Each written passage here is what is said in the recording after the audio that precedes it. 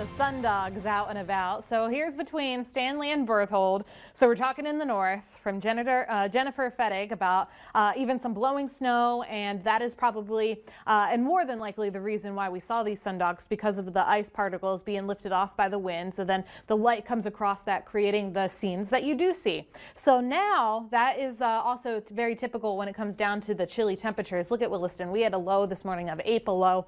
Radiational cooling was likely the impact of that just because we had, uh, we did have some wind, but they've since lightened up, especially as the morning went on, but clear skies and a snowpack. So that allowed the northwestern region to get a little bit chillier than expected. But we were right on the forecast there with Bismarck, just seeing practically no snow on the ground, where we're looking at snow depths in the north about a foot of snow. Now today we also have that push of the cool air with a high pressure in place. So that's why we're still feeding in the northwest winds and our low pressure system from yesterday is really well into Canada at this point, but still around just less and less of an impact for it here in North Dakota. So you do see the northwest winds occasionally turning out of the west at times, 5 to 10 miles per hour, and that is it. In other words, it is a really, really nice day with the blue skies, and they're going to carry us through for the rest of the day today.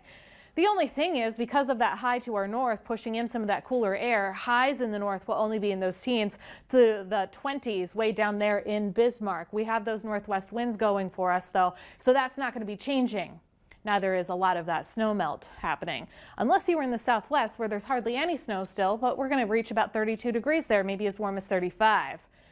8 o'clock this evening, back to the teens we go. Most of us do fall back to the single digits. There is a chance of radiational cooling again, so I wouldn't be surprised if maybe we see some more places in the northern latitudes to go below zero degrees versus the teens in the southwest. So then hello to tomorrow.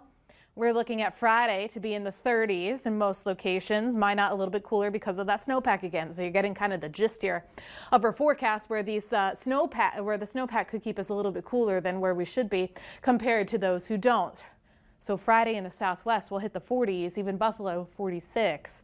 So as that high pressure system moves in, moves out, it'll turn into a south wind as we go into our Saturday with a warm front coming through. So a lot of us on Saturday will be hitting the 30s to the 40s to near 50 degrees for some of us once we go into our Sunday. So Sunday is going to be the time to be at. Don't forget about turning the clocks though from Saturday night to Sunday. So we'll lose an hour of sleep. And once we see that pattern change, we're going to keep it warm right into Monday.